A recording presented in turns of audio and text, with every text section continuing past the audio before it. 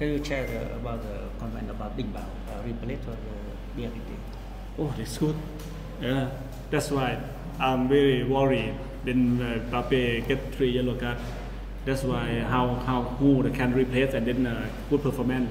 Today he worked very hard. I'm worried here about the not enough power. I don't worry how to cover the the center uh, the defense defense uh, line. But he score goal too. That's why I think uh, it make him more confident. I think he's uh, out now. He can repair the, any position in uh, in the defensive. Uh, thực sự tốt. Uh, sự thay thế của Đình Bảo lúc đầu thì thầy Dương cô cực kỳ lo lắng bởi vì uh, lần đầu tiên đá 90 phút và đồng thời là uh, rất là lo lắng về cái hàng thủ toàn cầu thủ nội có thể hình thấp Đấy, và Đình Bảo thì hôm nay là chơi uh, rất là là, là, là tốt và đã ừ, ngoài ra lại còn tốt hơn nữa là còn ghi bàn thắng. Thì đấy và lúc này Đình Bảo thì có thể ờ, chơi được thay thế được tất cả vị trí ở hàng thủ của chúng tôi cho nên cái đấy thầy chúng tôi rất là vui. Okay. Thank you. ok thank you. Hello cả nhà, bây giờ là 4 giờ chiều rồi. Hai anh em mình đã có mặt ở sân Pleiku rồi Và chuẩn bị vô để cổ vũ cho câu lạc bộ Hoàng Anh Gia Lai Ở trận đấu với Khánh Hòa vào chiều ngày hôm nay Hy vọng rằng là sẽ có tin vui mang đến cho người hâm mộ. Rồi cả nhà có thể thấy rất là nhiều. Dạ chào anh. Dạ. Cảm ơn anh. Dạ. Rất nhiều người hâm mộ đã mặc những chiếc áo rất là dễ thương. Một cậu bé cũng nhỏ xíu thôi mà mặc cái áo size M. Rất là chịu khó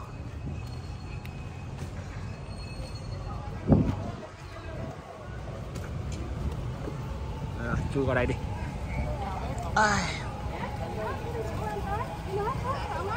Rồi trước mắt mình là sân Pleiku đã được uh, sơn màu xanh theo thương hiệu Carabao. Hội quán Carabao Hoàng Anh Gia Lai. Quán nem nướng Ninh Hòa Cà phê nguyên chất cô Hạnh Đều gắn chữ Carabao Để thuận tiện theo dõi và đây là hội cổ động viên của Hàn Gia Lai. Mọi người đều đã mặc rất là nhiều những chiếc áo đồng phục với nhau rồi. Rất là đẹp luôn. Những hình ảnh này sẽ xuất hiện ở trên sân Pleiku vào ngày hôm nay rất là tuyệt vời.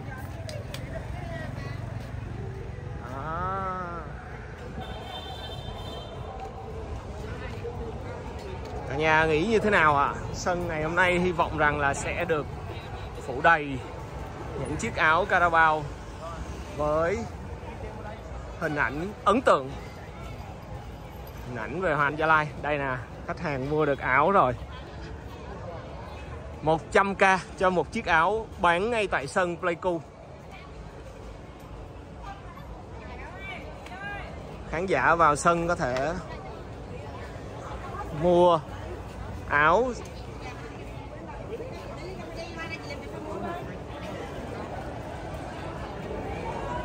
Để mình xem coi áo đang ờ, bán ở đâu để mình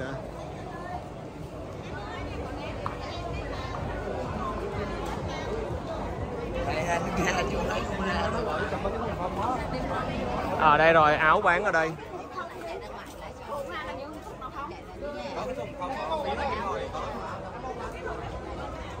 Hello còn áo không chị? Wow oh, chào người quen. Hello mọi người. Sáng giờ mình bán được bao nhiêu cái rồi? Mấy ngàn á hả? Ồ vậy là bán mệt nghỉ luôn á. Vậy là quá vui rồi. Đây khách hàng đến mua áo luôn. Các người đẹp này còn cùng dương luôn 100 k. Dạ, cảm ơn. Rồi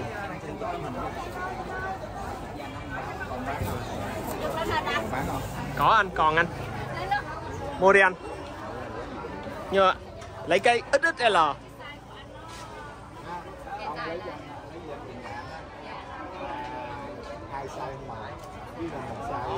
hai size M.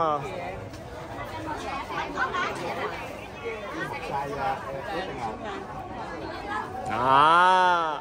Mua liền luôn đó bay từ đồng nai lên đây đó chứ không phải đùa đâu.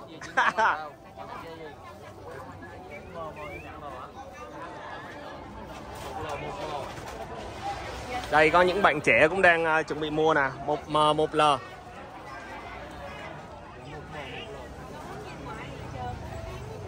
Hôm nay là chắc chắn là khán đài sân uh, pleiku sẽ rất đẹp.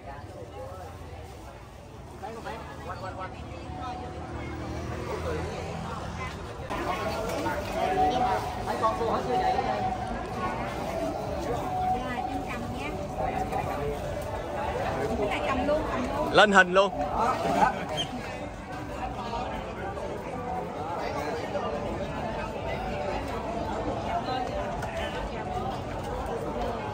đứng xin là xíu em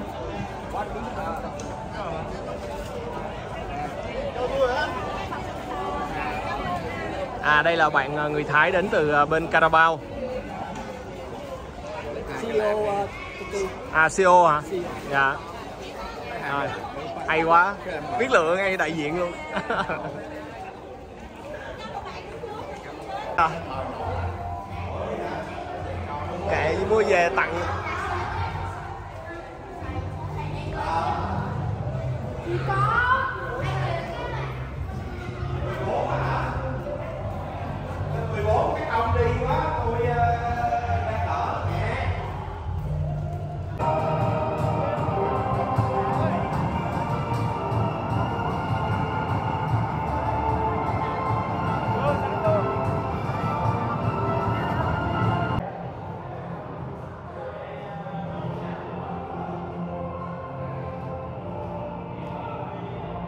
cầu thủ ra sân của câu lạc bộ Hoàng Anh Gia Lai ngày hôm nay. Có một à, sự thay đổi nho nhỏ, đó là Pape Diakite gặp thẻ phạt nên không thể thi đấu ở trận đấu này. Chúng ta sẽ cùng chờ đợi xem Đình Bảo sẽ thay thế Diakite như thế nào đây. Lấy vía nào? Ghê ghê ghê.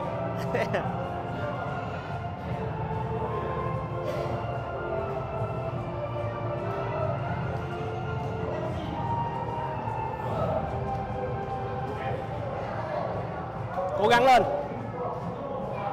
Hai. đây là các cầu thủ dự bị. Quốc việt. Văn anh. Xin chào.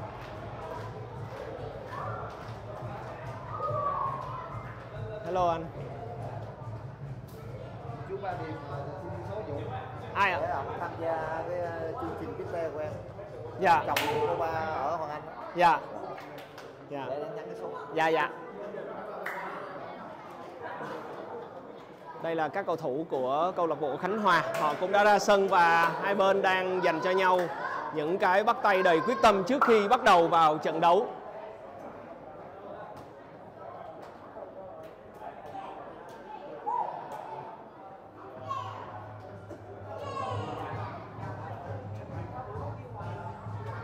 Ngày hôm nay thì câu lạc bộ Hoàng Anh Gia Lai họ sẽ sử dụng hai ngoại binh trên hàng tấn công, đó là Paulo và Washington Randall. Brandao. Pape bị treo giò sẽ được thay thế bằng trung vệ Đình Bảo. Huấn luyện viên Kiatisak cũng à, đã bắt đầu ra sân. Phía Khánh Hòa ngày hôm nay sẽ sử dụng chọn bộ ba ngoại binh đó là Yago số 66, Musia số 40 và Ryan à, xin lỗi Ryan Hà là cầu thủ Việt Kiều. Một người còn lại đó là Jairo, là số 33. Ryan Hà, cầu thủ số 24 là cầu thủ Việt Kiều. Trọng tài đang kiểm tra những công đoạn cuối cùng trước khi bước vào trận đấu. Ngày hôm nay sẽ là một trận đấu khó khăn dành cho hàng phòng ngự của câu lạc bộ Hà Anh Gia Lai khi đối đầu với những cầu thủ cao lớn bên phía câu lạc bộ Khánh Hòa. Cả nhà có thể thấy sự chênh lệch về chiều cao của cả hai bên.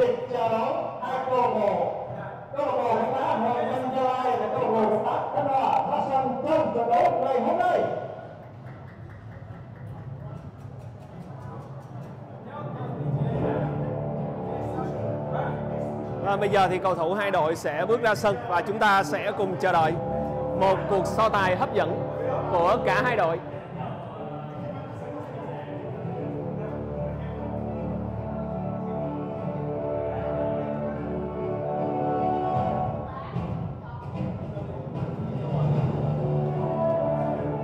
Những hình ảnh rất dễ thương trước khi trận đấu bắt đầu. Vâng, cầu thủ hai đội bắt đầu di chuyển ra ngoài sân.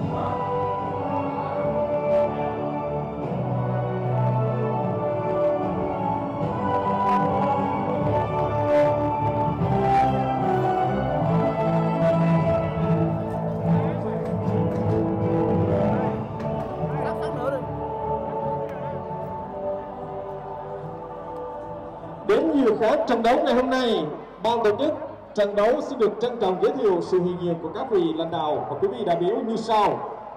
Ông Nguyễn Văn Ý, Phó Giám đốc Sở Văn hóa Thể thao và Du lịch tỉnh Gia Lai. Ông Trần Quang Quỳnh, Ủy viên Ban chấp hành Liên đoàn bóng đá Việt Nam, Chủ tịch câu lạc bộ bóng đá Con Tum.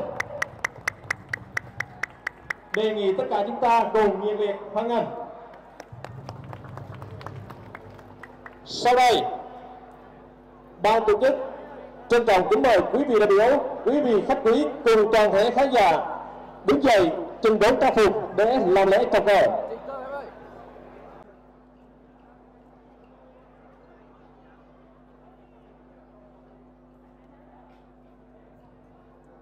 Luôn. Chào cờ. Chào.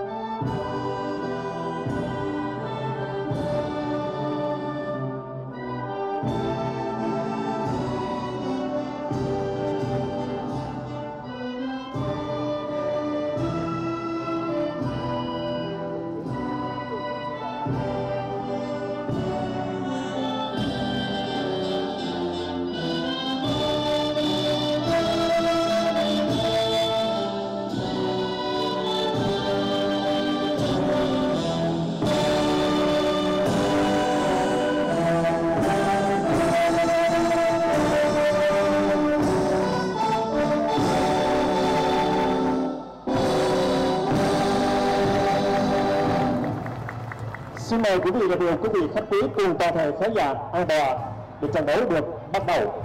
Xin trân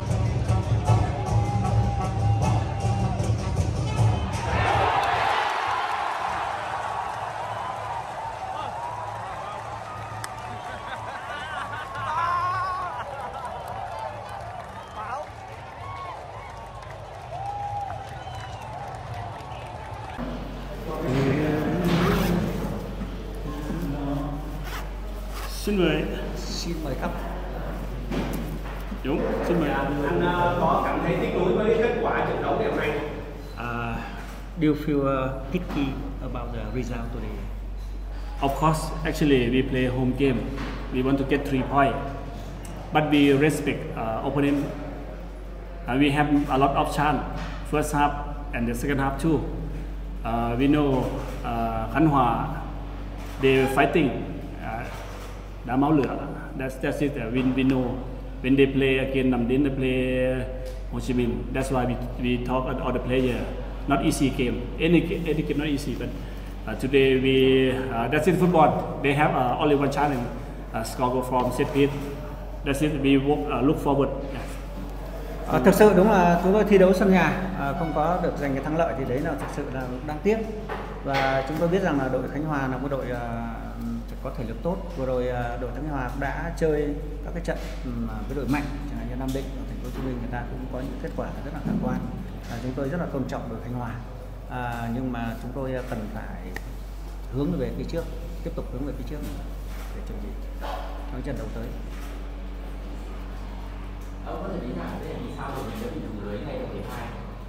Can you explain about the reason why we lost in the few first minute in the second half? Oh, that is a uh, that is a good experience because uh, even in the game, open play or set piece dangerous. And that's why uh, uh, all our young player must learn about this. Uh, not uh, play safe. And then uh, the experience one one thing is uh, if you score early one goal, not enough uh, for uh, confirm to win. You must score more goal uh, if you want to win in in in in the league, in the game, in the league. ở đây cũng là một cái uh, điều cần phải rút kinh nghiệm cho đội bóng. Bởi vì rằng là trong bóng đá thì uh, khi mà hai đội chơi uh, có những nhiều các tình huống uh, ghi bàn vào lưới đối phương từ rất là nhiều các tình huống. Uh, và đối với đội chúng tôi thì uh, một bàn uh, mặc dù chúng tôi là ghi bàn sớm nhưng mà thực sự về một bàn uh, chênh lệch thì vẫn chưa là đủ và chúng tôi cần phải tập trung hơn nữa và rút kinh nghiệm. Anh có thể chia sẻ về việc là sao lúc Minh Vương sau đó có một quan thì Minh Vương ra từ khá sớm. Uh, what about the reason uh, Minh Vương set out? And trong một Actually, we have many young players because we prepare for three games. If the, some player, the key, uh, over like uh, play 90 minutes, we have to prepare for three game. Three game rest, rest only two three day, Sometimes you see, sometimes uh, the muscle of the player not not not enough power. That's why we can rotation. Any player uh, important for the team. That's why I must give a chance for all the player. Ở đối với việc thay hai cầu thủ trụ cột ra thì uh, quan điểm của thầy Diego là trong cái lịch trình thi đấu khoảng 3 4 ngày một trận như thế thì cần phải có sự tính toán. Thứ nhất là giữ thể lực và phòng chống những chấn thương cho những cầu thủ đá chính ờ, ờ, trong suốt mấy trận vừa qua. Và thứ hai nữa là cũng tạo điều kiện cho các cầu thủ trẻ có cơ hội vào sân, bởi vì đối với chúng, đội bóng tôi thì cầu thủ nào cũng rất là quan trọng. Và chúng tôi phải tính toán à, luân chuyển làm sao cho nó giữ được cái thể trạng chung cho toàn đội chuẩn bị cho trận đấu tới. Vừa qua thì ờ, bạn Trung Ngọc Quang đá rất là tốt và ghi được một số điều lớn. Anh em cá nhân anh kỳ vọng như thế nào về Trung Ngọc Quang trong thời gian tới? Um, some games ago, uh, Gopal showed uh, good performance. Yeah. Uh, and how do you uh, rate about the Chobokan and how to expect about the Chobokan in the future? Yeah, after he uh, come back from uh, national team, he had more confidence. That's, uh, that's why in the midfield we have Tuan An, we have uh, Vuong, last game very uh, good performance, and Quang also. That's why we have the key man in the central. That's why when we play uh, any team, we have more confidence and support uh, some young player. That's why uh, on uh, three key man is uh, important. Ừm, đối với Châu Quang thì sau khi ờ, trở về từ đội tuyển thì anh ấy là cũng có một sự tự tin rất là nhiều hơn và trong tuyến giữa tôi thì có ba cầu thủ trụ cột là Châu Quang, Trần Minh Vương và, và Tuấn Anh thì đấy là cầu thủ trụ cột của bóng và đó là những điều mà rất là, là quan trọng cho đội bóng của tôi. Ờ, trong trong thời gian ờ, mấy ngày gần đây thì ờ, xuất hiện một số thông tin liên quan đến việc là một số cầu thủ tuyển thủ Việt Nam đã muốn sang cái lịch để thi đấu. Anh anh anh có thể chia sẻ nhiều hơn điều này được không? Và, cái quan điểm của anh về điều này như thế nào? Uh, he heard uh, some day ago uh, have uh, many information about uh, some uh, Vietnam player uh, want to go to Thai League place. How, do you can share about the, idea? I think it's good because we can change the player uh, around in ASEAN. Because now Thai League they have the quota ASEAN player. That's still a good chance for me. But depend on the player want to go or not. If they, uh, some player go, I think uh, experience can keep experience because sometimes play overseas, we you must uh, challenge with the under pressure, everything can learn. Ờ, đó là một cái tín hiệu ờ, đối với thầy Diego thì là tốt bởi vì uh, trao đổi các cái cầu thủ trong khối ASEAN và Thái Lan hiện nay có cái, những cái tiêu chuẩn để mà quota được phép chơi uh, những cái cầu thủ ở Đông Nam Á giống như là là là là, là đội nhà thôi, uh, cầu thủ nội thôi. Uh, cho nên đấy điều rất tốt và để cho các cầu thủ uh, học hỏi, trau dồi kinh nghiệm. Và đặc biệt là khi đấu ở môi trường mới thì gặp rất nhiều thử thách và các cầu thủ cần phải vượt ờ, qua và phải vượt qua những áp lực, những cái tất cả những cái ờ, môi trường mới để nhanh chóng thích nghi thì đấy là điều rất là tốt. Ờ, thua nhưng mình hòa hơi nhiều từ đầu cuối tới. Không biết là trong các trận đấu tiếp theo thì Liverpool sẽ làm như thế nào để cải thiện tình hình? Này Mm. Mm, uh, starting league until now, we draw many games. Yeah. Uh, so that uh, is a uh, uh, not, not not not bad thing, but Yeah. Uh, in in the some next game, uh, you go have can share about the the solution prepare for team get get more more winning? I want to ask ask you back what you expect about the young player. Uh, maybe maybe you're thinking more, like uh, expect more because our young player just come back. I just uh, play uh, first time in V League. Uh, for me, don't lose. Uh, I think it's uh, better for them already. Uh, because if we, we, we expect overconfident, how can? If they come and then they beat, beat, beat, beat, and then this is the first time for them. That's why uh, I know so many uh, uh, fans, so many reporters thinking why Onyala just a draw a lot. But I think I cannot put the pressure for a young player. Uh, because if, if we, we put, oh, Onyala must three point, three point any game, they expect that is the pressure for, for my player. Ờ, đối với đội bóng ờ, năm nay thì ờ, thực sự do nói có- có rất nhiều các cầu thủ trẻ đã được đôn lên đội một và thầy Zico cũng muốn là tạo cho các bạn ấy thi đấu để tích lũy kinh nghiệm để phát triển à, nghề nghiệp trong tương lai.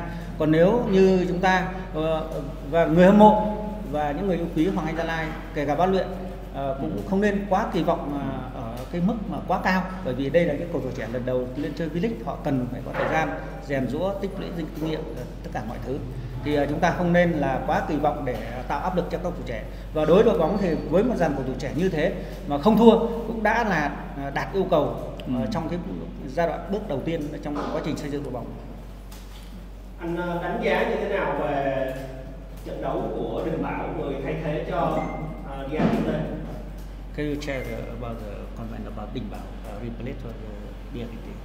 Oh, that's good. Yeah, that's right. I'm very worried when uh, get three yellow card. That's why how how who can replace and then uh, good performance. Today he worked very hard. I'm worried he about the not enough power. And, uh, don't worry how to cover the the center uh, the defense defense uh, line. But he scored goal two. That's why I think uh, it make him more confident. I think he's uh, out now. He can replace uh, any position in uh, in the defensive. Ờ, thực sự tốt. À, sự thay thế của Đình Bảo lúc đầu thì thầy Diego cực kỳ lo lắng bởi vì à, lần đầu tiên đá 90 phút và đồng thời là à, rất là lo lắng về cái hàng thủ toàn cầu thủ nội có thể hình thấp. Đấy, và Đình Bảo thì hôm nay là chơi rất là là, là, là tốt và ờ, đã ngoài ra lại còn tốt hơn nữa là còn ghi bàn thắng. Thì đấy và lúc này Đình Bảo thì có thể ờ, chơi được thay thế được tất cả vị trí ở hàng thủ của chúng tôi. Cho nên cái đấy thầy tôi rất là vui. Thank you. Ok, thank you. Okay.